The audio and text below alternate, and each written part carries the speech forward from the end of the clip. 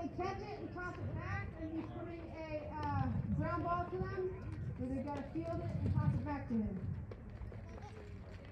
Good down, She makes the throw. She throws the ground ball. She fields it, fires it back. So this one would be a little bit dangerous with your kids if we were doing both of these at the same time because of the angle. So uh, Daniel, do a blooper over that part.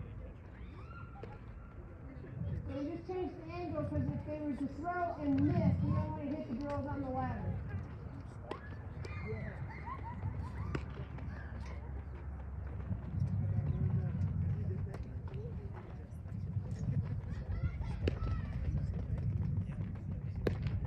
Okay, good. Any questions on these